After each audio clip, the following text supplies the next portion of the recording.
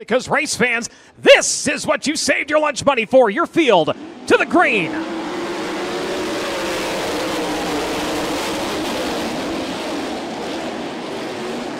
Field off and running, Stockon going to try to take off with the race lead. Right now has it over Brady Bacon. Bacon working to the outside of a turn number two. Both drivers in each other's tire tracks off at turn number four. Who's going to lead lap number one? It will be the Bandit Ag number five. Stockon going to lead the way. Bacon still right there in second. Kevin Thomas Jr. looking top shelf, looking for third as they work onto the back stretch. He's got a run. Does he have enough to get second?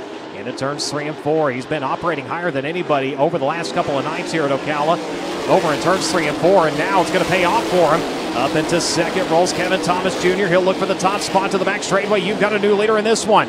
Kevin Thomas Jr. up into the lead. The driver that's following him, well, that's Logan Seavey. Seavey in the 57 has not finished outside of the podium the entire run of the Winter Dirt Games, and now looking for the lead in turns one and two. Throws the slide. He's got it for a moment. Kevin Thomas back to his inside. Kevin Thomas Jr. look to the inside, trying to get it back. Logan Seavey going to take the Abacus Racing number 57. Up top shelf in three and four. He's going to come around and lead as they complete lap number four. Throwing wide off the exit turn number four. Grant stalking now in a good battle. Grant going to throw the slide to turns one and two. He'll have the position over the five. So Grant up into the top five of the NOS Energy. Top Industries number four. Stockon going to fall back to six. Jadon Rogers in seven. Jason Persley in eighth. Mitchel Moles in ninth. Matt Westfall still your top ten as Bacon right there on Kevin Thomas Jr. Just waiting for him to make a mistake. In the bottom line, the preferred line off of turn number four. Bacon up to the cushion, trying to carry momentum around. He's going to diamond it off and down to the bottom. Here comes Bacon for second. 69 up into the run-run spots. The EV having a hard time getting by the slower car. Bacon is right there. Can he capitalize? Able to clear the 84 Harris now. Bacon to the outside. Seavey still working middle to bottom. Bacon going to diamond it off down to the bottom. Can't get by the 84. Lap traffic right now playing to the favor of Seavey. Oh, look out! Contact over in turns three and four as they were trying to avoid a spun car facing the wrong way in the fourth turn. Set to find out a four lap dash to the finish. He'll buy the NOS Energy restart can over in turn number four. High side to low. Here comes the 15 with a run looking for second. Bacon going to have to beat him to the punch into turns three and four and try to protect the bottom. Bacon gonna light the high to the front straightway. Here comes the 15. CJ Leary gonna clear him into turns one and two. Bacon now he's gonna try that line. Goes the outside as we've got problems at 21. Rolling to a stop here on the front straightway. Three to go. Can he hold on? CJ Leary all but glued to that back bumper the restart. Going to look to the outside now. Brings it across the racetrack onto the back bumper, of the 57. Does he force the issue to the inside to look for the race lead? Yes, he does. CJ Leary looking for the top spot. They're going to light the highs to the front straightaway, and you've got a new leader with two to go. CJ Leary takes over the top spot. Logan Seavey back to second. Brady Bacon in third. Kevin Thomas Jr. Chase Stockon your top five. Leary now pulling away as they'll come around this time to the wave of the white flag. We've got one to go in this one. Pulls off the move through turns one and two to diamond it across the racetrack.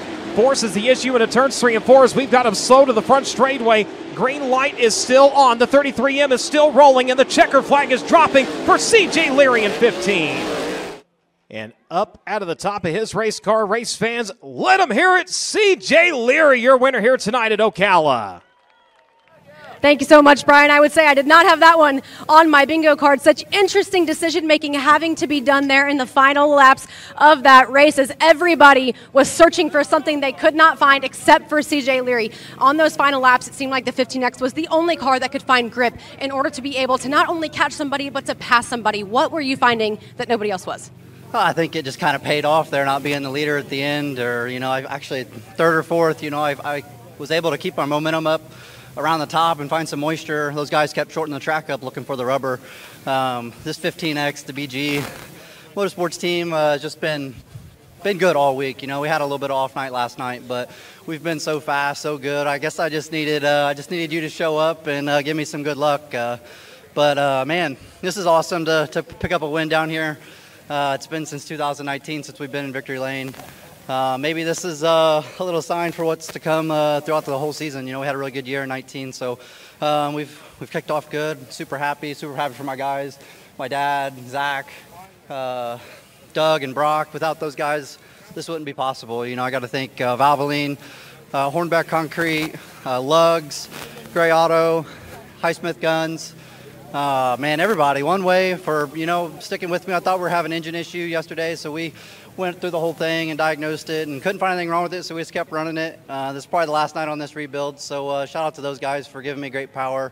Joe Devin for building me a hell of a race car. This thing's really good. Brad Wilson at Lucky Seven for giving me some good good shocks, man. Uh, just can't can't thank everyone. This is uh, a full circle deal here. I set it up good, drove it good, and we're uh, going home with a trophy. When you talk about having a more frustrating night last night, and we're really we're at the same racetrack, even though it can be so wildly different. What would you say was the most integral difference tonight that made you more successful? I think the racetrack finally got slick, where we can actually do some racing. You know, I know the fans came to see some good racing. The guys at home on Flo wanted to see some good racing. It just was it was too fast the last couple nights, and uh, I think it finally widened out. The repeat races were good. The feature was good. Um, I hate to see some rubber there at the end, but there's still some good racing. Uh, hats off to Logan and Brady. You know, they raced raced really hard there at the end, and uh, I felt like once the rubber came, it was going to be really hard to pass, but actually it, it stayed pretty good. So uh, thanks all the fans for coming, and uh, we'll see you guys in Indiana. CJ Leary picks up his first win of the 2024 USAC Amsoil National Sprint Car season here at the Winter Dirt Games at Ocala Speedway.